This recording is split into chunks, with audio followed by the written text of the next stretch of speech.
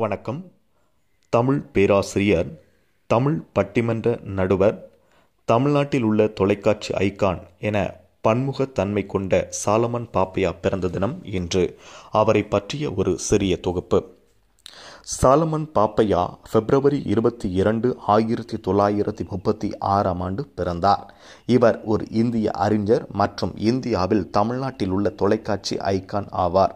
தமிழ் தொலைக்காட்சி சேனல்களில் நீண்ட காலமாக மூன்று தசாப்தங்களுக்கும் மேலாக ஒளிபரப்பாகி வரும் பட்டிமன்றங்கள் எனப்படும் விவாத பேச்சு நிகழ்ச்சிகளை நடத்துவதில் அவர் மிகவும் பிரபலமானவர்.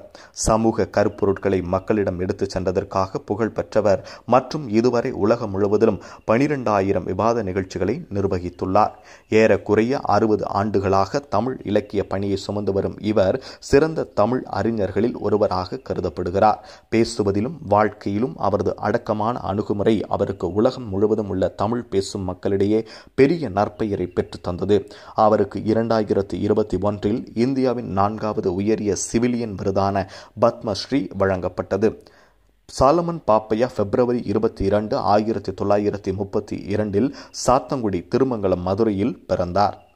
எஸ் சுந்தரம் மற்றும் எஸ் பாக்கியம் ஆகியோருக்கு பனிரெண்டு பேர் கொண்ட குடும்பத்தில் ஒன்பதாவது குழந்தையாக பிறந்த பாப்பையா அவரது தந்தை மில் தொழிலாளியாக இருந்ததாலும் படிப்பிற்கு பண வசதி இல்லாததாலும் வேலை இல்லாமல் போனது.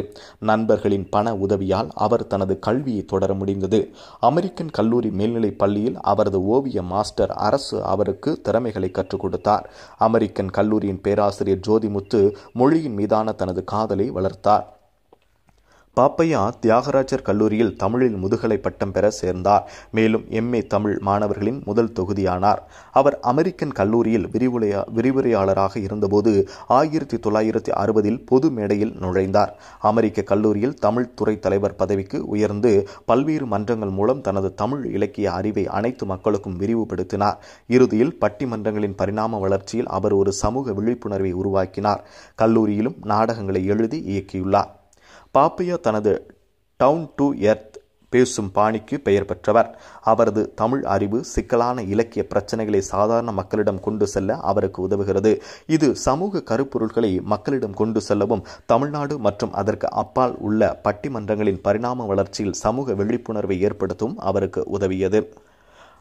அவர் தமிழ் அறிஞர் மற்றும் இயல் கலை அறிஞர் என குறிப்பிடப்படுகிறார். இவருக்கு இரண்டாயிரம் ஆண்டு தமிழ்நாடு அரசால் கலை மாமணி விருது வழங்கப்பட்டது. அண்ணாமலை பல்கலைக்கழகம் இவருக்கு இரண்டாயிரத்தி பத்தில் முத்தமிழ் பேரறிஞர் விருதை வழங்கியது. இரண்டாயிரத்தி இருபத்தி ஒன்றில் இந்திய அரசால் அவருக்கு பத்மஸ்ரீ விருது வழங்கப்பட்டது. சாலமன் பாப்பையா நான்கு புத்தகங்களை எழுதியுள்ளார். பட்டுக்கோட்டை கல்யாண சுந்தரம் அல்லது பார்வை உரை மலர்கள் உரை கொத்து திருக்குறள் உரைதான் புறநானூறு புதிய வரிசை வாகை ஆகியன இவை இவர் எழுதிய நூல்களாகும். இயக்குனர் ஷங்கரின் இரண்டு படங்களிலும் பாப்பையா தோன்றினார். பாய்ஸ் இரண்டாயிரத்தி மூன்று சிவாஜி தி பாஸ் இரண்டாயிரத்தி ஏழு மதுரை திருமங்கலம் தாலுகா சாத்தங்குடியில் பிறந்தவர் பாப்பையா மற்றும் அவரது மனைவி ஜெயபாய் இந்தியாவின் மதுரையில் வசிக்கின்றனர். இவர்களுக்கு ஒரு மகன் மற்றும் ஒரு மகள் உள்ளனர். நேர்களே இந்த வீடியோ உங்களுக்கு பிடிச்சிருந்துச்சுன்னா மறக்காமல் ஷேர் பண்ணுங்கள் லைக் பண்ணுங்கள் சப்ஸ்கிரைப் பண்ணுங்கள் வணக்கம்.